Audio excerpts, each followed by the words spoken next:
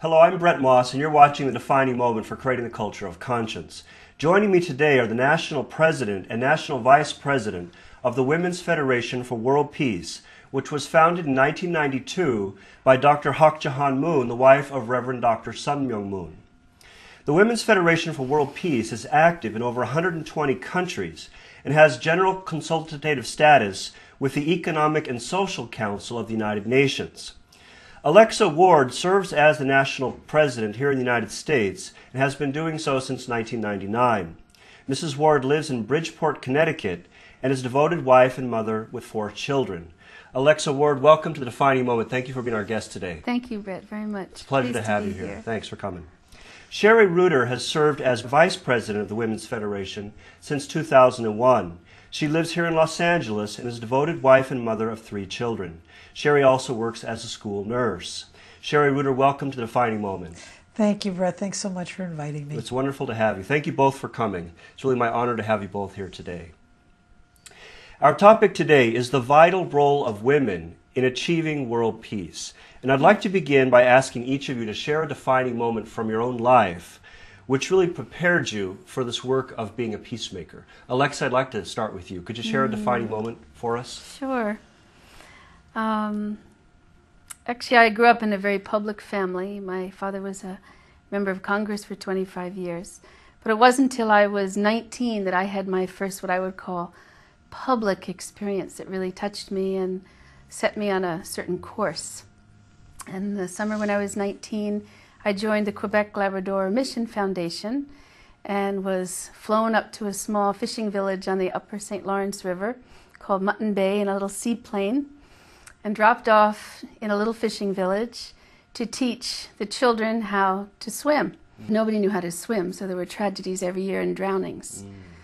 Uh, everybody in this town lived in houses that were prefab, that had no electricity or running water, but had all the trappings of, of sort of normalcy. But uh, it was a very, very simple town. Mm. And it was the first experience I had where I was there totally to do something for other people. Mm. And I found that I really loved it. And I found that that way of living was natural and comfortable and gave me back more than I gave. So even at 19, I could uh, feel from that experience that I wanted that component in my life always. Mm. So from then on, I really made sure that I was doing something on that level of other oriented, focusing yeah. on the needs of other people, no matter what it was I chose. And you and found that, that summer, really brings mm-hmm. you the mm-hmm. greatest happiness in your life. I, it certainly brings me a depth of happiness that I want to keep close. Yeah. Yes. Well, that's beautiful. Really wonderful. Thank you so yeah, much for sharing you. that. I appreciate that a lot.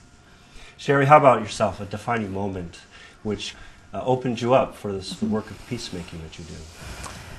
I was uh, raised from the time I was a child in a, a, Jewish family, and my father served in the Second World War. Mm. And the issues of that war um, and that time were very much a part of the house in which I grew up. Mm. So I remember that the Holocaust was very real to me and something that we talked about often.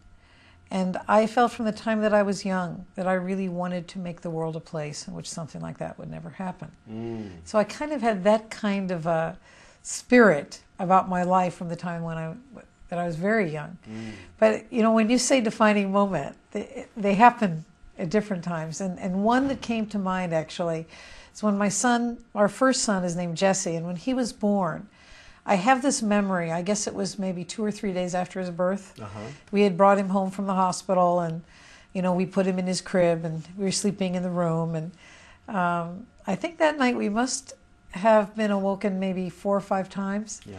And uh, each time we'd get up and check him, and we'd both get up and hold him, and I'd feed him, and then Dave would hold him on his chest, and it was interesting because at the end of that even- night, I remember I turned to my husband and I said, I don't think I ever loved anyone before. Mm. And I was thinking, you know, how many times, as much as we say we love people, and, and I always thought of myself as a very loving person, how much do we really sacrifice for others, for the dreams and the things that we believe in to give? And so it was really a defining moment, actually. So you felt a new depth of love. Yeah, there was possible. a different, yeah, it was like all of a sudden love was taken to a different level. Mm-hmm. And I, I think that was a defining moment. Wow, that's Yeah. very, very interesting. It affected me not just with my children, but really in my life. Yeah, that's, it transformed the way you go about loving people. Yeah, that's right. Well, it's very beautiful. Thank you so much for sharing that. I appreciate that a lot. Alexa, tell us about the Women's Federation for World Peace and the types of project which both of you are, are involved in. Okay. Uh, WWP USA has five program areas Mm. Women of Faith, Benefits for Schools of Africa, Women's Middle East Peace Initiative, NGO Networking, and Interracial Sisterhood Project. Okay. So each one of these areas we have defined why we think it's important, and then we move it forward through programs. Okay. Programs provide people a way to meet us, to get to know us, to become more involved, and eventually actually take a leadership position. Great. Uh, we explain WFWP in terms of the founding spirit. The founding spirit is three points. Mm. The first is a commitment to strengthen the family Okay. because we believe the family is the cornerstone for peace in the world. Mm. Not an individual, not an institution, but the family. Okay. So the breakdown of the family is a very serious issue, a serious impediment to peace. Mm. Number two, we refer to service for others in the spirit of living for the sake of others, as exemplified in WWP's service projects in 39 countries. Okay. And number th- three, we refer to peace and reconciliation activities, centering on our signature project, the Bridge of Peace ceremony, Mm. and our work with the United Nations. Okay, can you tell us more about those two, the Bridge of Peace and Bridge of the Peace? work with the United Nations? Yeah, the Bridge of Peace ceremony is something very dear to all of us. Uh, 1995 and 96, we did a very unique series of programs in commemoration of the 50th anniversary of the end of World War II. Mm. And over a two year period, we created 20,000 pairs of sisters, Japanese and American. Wow. So during before this pro- project started, we were trying to think how can we bring them together? What is the vehicle we can use to help them become pairs of sisters? Mm-hmm. And a couple of sisters had this vision for a bridge. Mm.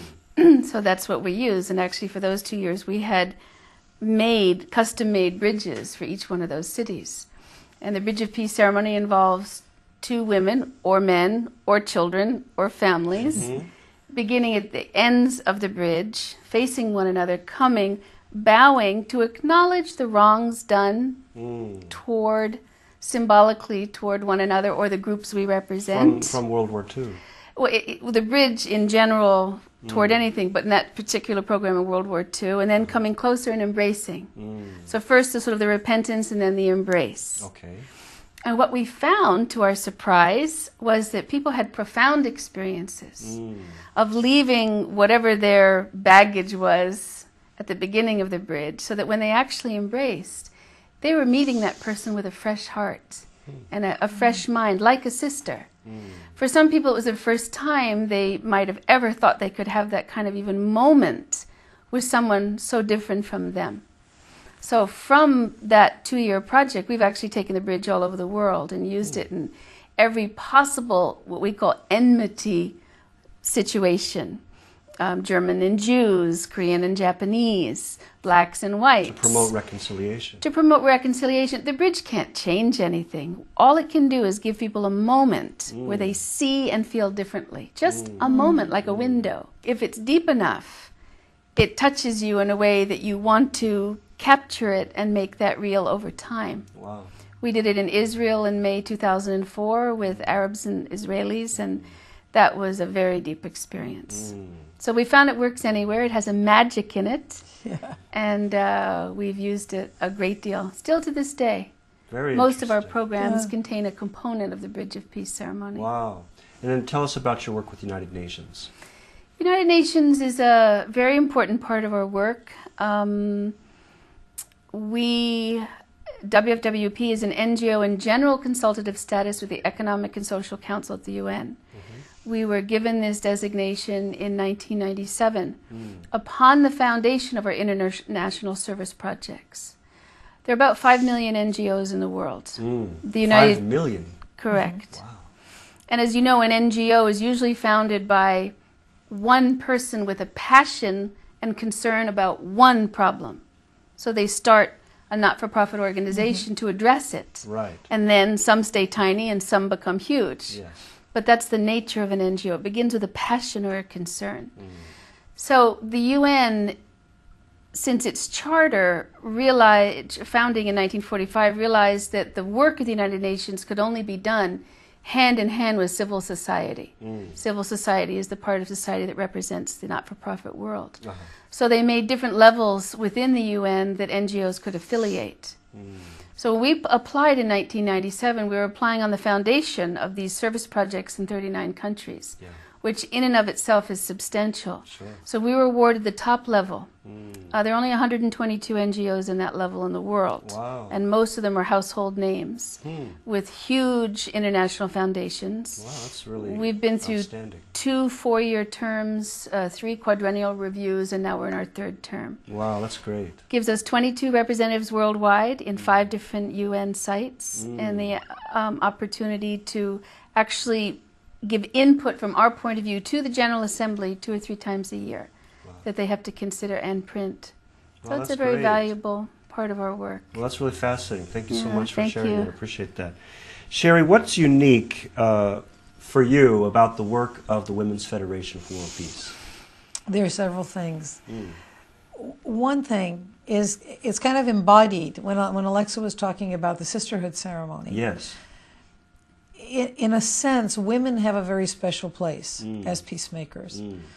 um, and it really has a lot to do with the heart of women and who they are and what we can do as women if we work together. Women's Federation is a unique organization because it's so international and also because the relationships are not just a business kind of working together relationship, but everything we do is guided by a very a desire to have a very heart to heart relationship with each other. So, as an example, every year we have an international conference, and uh, representatives come from all the nations, and uh, they're, they're just amazing conferences. I just I have a memory of being in a hot tub in Korea with six African women from sub-Saharan Africa and different nations, and really sharing our heart. And I thought this, in some sense, is the stuff of peacemaking. I see. It is that making of relationship. yeah. It's not just as the two women cross the bridge, but it's what they do after they cross the bridge. It's becoming partners for peace. There's not enough of that in, in today's world. That's right. And I think Women's Federation really draws on the qualities that are best in women Mm. and really encourages them to share them with each other to make them part of their daily working reality. Wow. Tell us something else that's unique about your work, you know, Well- it's just really, I know it's just so profound what what it is that you're doing. Well, as you know, as Alexa mentioned, we have a, a vast network of humanitarian service projects Mm. in 39 nations. Mm. The interesting thing to me is how those projects were started because it says something about how we work. When we started those projects, volunteers would go to the nation and they were asked, instead of starting a project, they were asked to really poll the women and children and to spend a good year living there Wow. to find out what was needed by that community. An example that always comes to mind for me was, for instance, we have a school in Mozambique, Mm. and uh, the on, on the team of women that went there, there were there was one woman that I know who was a physician from New York. There was another Japanese woman who was a journalist. So of course, when they went there, they, they thought, well, we're going to start a medical clinic, and certainly in the in the town of Beira, which is the second largest city in Mozambique, the ratio of physicians to population is one to fifty thousand. Oh, so Lord. certainly medical care was needed. Absolutely. But when they arrived, it's a country that suffered a long civil war, and the entire educational infrastructure was broken. So a year after they arrived, after polling the women, they decided to build a high school and middle school. Mm. That high school and middle school now has graduated more than 2,000 students and has a 10 year track record and is just an amazing example of what a small group of women can do Yeah. when they set their mind to doing it.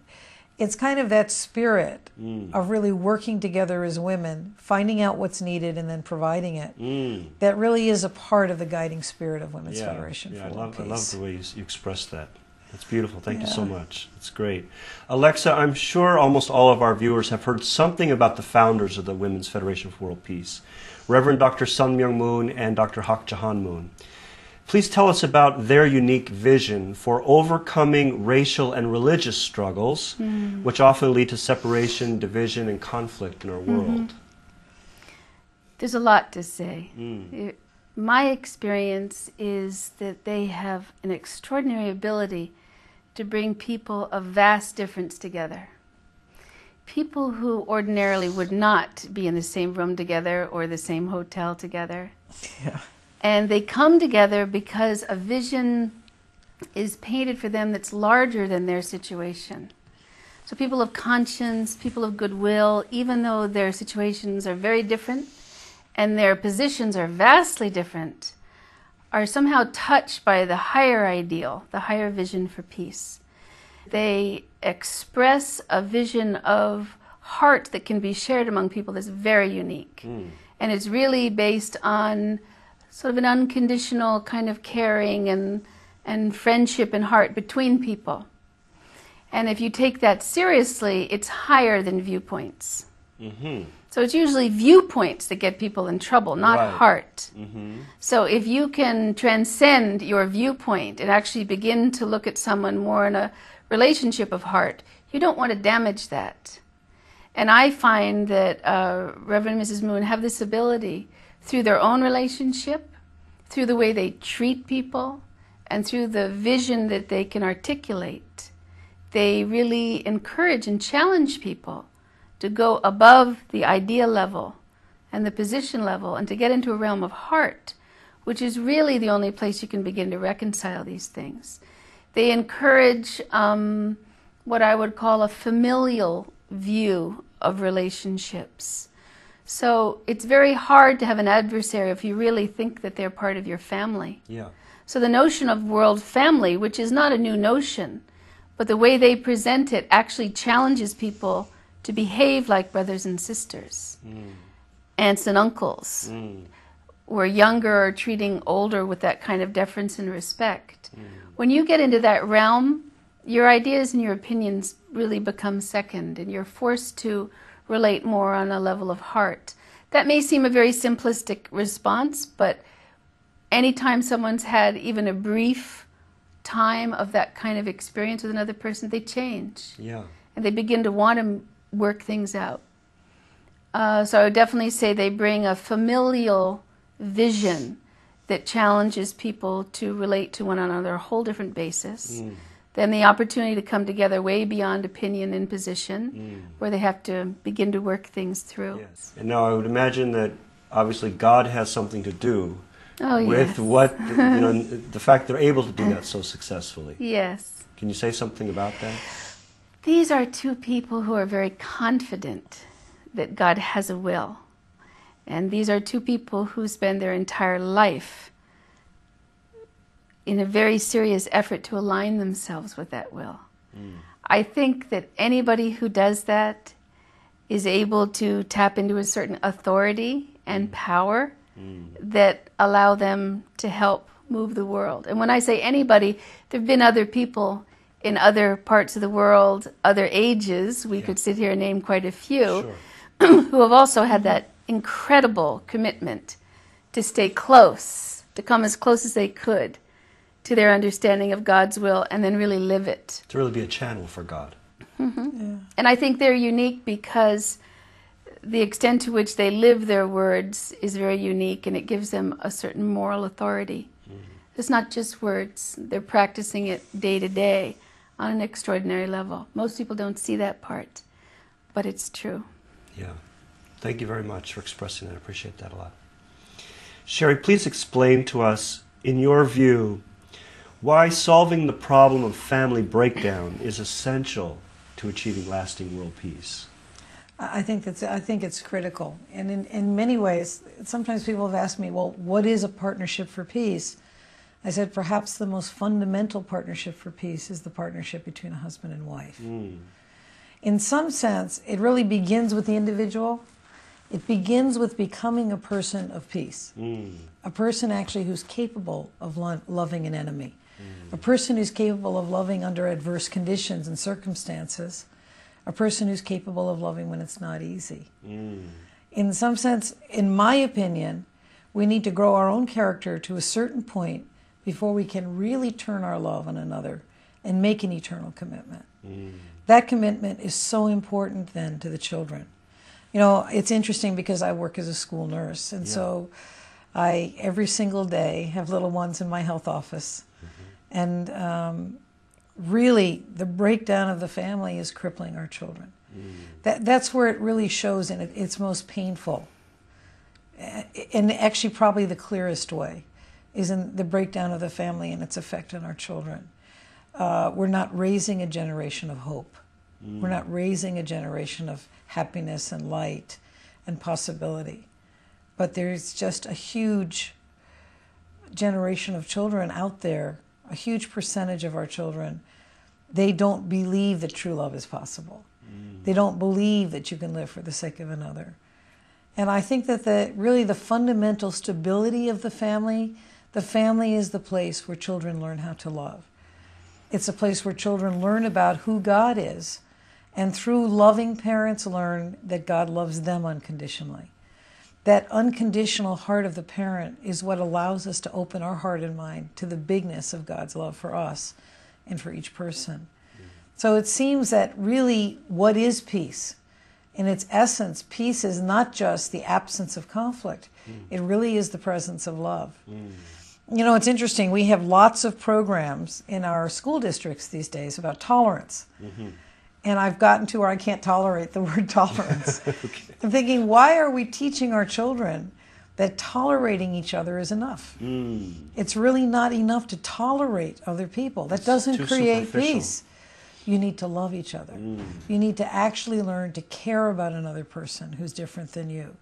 To really care mm-hmm. in a family way, in a mm-hmm. familial way. Mm-hmm. And it really ties into the point that Alexa made about the family and that familial essence. So I really believe that without restoring, in some sense, the heart in the family, the presence of the family, the reality of good, solid families, it's hard to think about building a world of peace. That's great. Thank you so much. I appreciate that. Alexa, what do women bring to peacemaking that makes the work of the Women's Federation for World Peace so unique? I think Sheri touched upon it in terms of the unique qualities of a woman's nature uh, unconditional love, empathy, forgiveness. Qualities which actually a woman has to exercise a lot to raise a family, to care for a family, to raise children. But these qualities are now needed on every level of decision making, and especially those levels of decision making that have anything to do with how nations are going to treat each other. If you have uh, elected bodies with 50% or more women, you're not going to have the choice for war is not going to be on the table. Mm. Women know that war means sending people's children into battle to die. Yes. That's what they immediately connect to in heart. Right. Hmm. So they're not going to send their own or somebody else's. Hmm. It's just not an option. Mm. I think women come with a connectedness of heart that needs to be expressed much more. I think women have felt very sort of shy about it, that it has its place, rather than understanding that it's that level of heart is needed on all levels of decision making and, and uh, in a nation and in the world. So I think that's the, the main thing women bring. It's, it's a quality and depth of heart Yeah. that allows them to see things a certain way, feel a certain way, that can really improve the quality of life for many people. Yeah. And maybe to expand on that a bit more, I would add to the qualities I mentioned the ability to sacrifice. Uh huh. It's not held up as a virtue these days. Right. You're supposed to avoid sacrifice. You're At all supposed to avoid sacrifice, and yet sacrifice is the very stuff that moves people, Yeah. and it's the very stuff that protects people. If you think of the the the heart of sacrifice that both a father and a mother Mm-hmm. have to exhibit in order to raise a family, Yeah. sacrifice in time, sacrifice in money, many, many, many levels. Sure. Well, if the family, if the familial model is just the microcosm of all the other levels in society, it's the same thing. Mm. But we've really lost this sense of sacrifice as healthy and normal, let alone noble. Right. But I think women bring it back in because it's part of your life. If you're going to be a mother, there are going to be a lot of sacrifices. All those hours staying up to take care of the, the Sure. newborn. Sure. It's on many, many, many levels. Yeah. But it becomes a part of your modus operandi. I mean, it's the way you live your life. Mm. But it needs to come, it needs to be a part of other aspects of life too. I think women can bring that back. Yeah. Okay, great. What have each of you found to be the greatest challenges in your work as peacemakers? I think in, in order to be a genuine peacemaker, like Mother Teresa, word and deed have to completely be in sync. Mm. What you say and what you do, That's right. who you are and what you're doing has to be completely one. Mm. And I think, especially in the kind of society we live in, that's a huge challenge. Yeah. To be that genuine, to be that honest about that part of yourself Sure. So that even the people who have to live with you in the the most day-to-day moments can actually stand up and say, "Yeah, my mom is really a person of peace. Mm. This is what she's taught me." So I have felt for a long time that the biggest challenge and the biggest homework is within ourselves. Yeah. Becoming a more public person, becoming a person more able to sacrifice, becoming a person who can spend more time on others than on yourself Mm. Becoming a person who can express that kind of empathy and unconditional heart all the time, even when you don't want to. Mm. That's the realm we're talking about. And I often see it similar to becoming a good athlete or a good musician. It's something you have to practice until it becomes effortless. And it takes a lot of practice. Well, that's beautifully said. Thank you so much for your authenticity and expressing it that way, Alexa. I appreciate that a lot. In in your view, what is it that humanity as a whole has failed to comprehend about our God-given purpose in life and the meaning of life on this earth? What has humanity failed to comprehend? Fundamentally, it's that we're one human family. Mm. Because if you really understand that, I mean, I could say that God is our parent, but I think there's so many different versions of that and so many different ways of understanding that. But to understand that we really are one human family Yes. with a heavenly parent, Yes. you would have to change. Everyone would have to change so hmm. much in terms of the way they feel, think, and act. Yes. That, that would revolutionize the world. That, That one alone, concept that alone. alone. That's because right. people can only do what they're doing that hurts one another because they allow the distance between one another. And in a familial setting, you can't do that. Mm. Well, we're out of time. I want to thank both of you so much for being our guests here today on The Defining Moment. It's really been an honor for me to have you both here. Thank you so much. Thank you, Bret. Thank you, Bret. This has been wonderful. Thank you Thanks so much. I've really enjoyed it. You've been watching The Defining Moment for Creating the Culture of Conscience. You can find us on the internet at www.definingmoment.tv. Thanks for watching and have a great day.